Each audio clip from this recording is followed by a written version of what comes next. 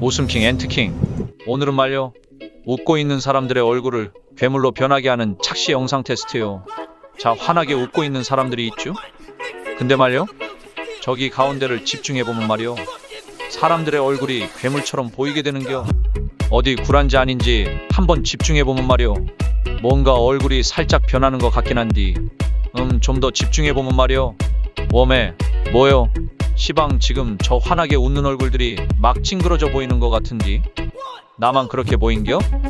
뭐여 막 외계인처럼 보이고 그러잖아 뭔가 잘못 본 것 같아서 그냥 다시 보고 있으면 멀쩡한디 근데 뭐요? 빨간 점에 집중하고 있으면 뭔가 이상한 얼굴들이 보이기 시작하는겨 이거 조작 아니여? 내가 집중할 때만 뭔가 이상한 얼굴 집어넣고 그러는 거 아니지? 아니지 아니지 내가 집중할 때가 언젠 줄 알고 그러고서? 그렇죠? 여러분들도 이상하게 느껴졌다면 좋아요 하나씩 눌러줘요. 오늘도 끝까지 시청해주셔서 감사해요.